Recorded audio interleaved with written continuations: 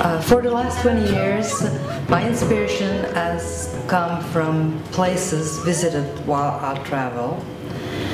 I always look for a place, people, or something that will inspire my work for a new series.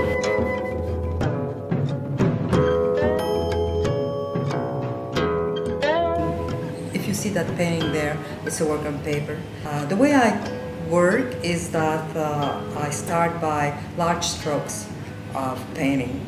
Um, I choose the colors because the colors are always inspired by the um, by the country that I had visited, and in that case, it's Vietnam, uh, mostly the north of uh, Vietnam, Sapa. Um, I wanted to, to to show, of course, the beauty of the north of Vietnam.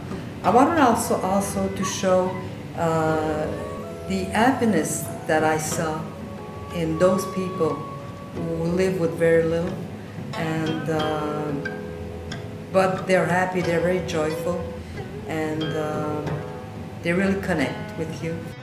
At first, there was an intention to talk about mountains and to talk about the people, the cultural community of Vietnam.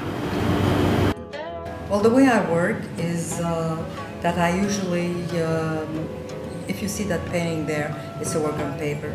Uh, I like to start on, um, by working on paper because uh, um, I feel free to do whatever I feel uh, on a paper more than on canvas.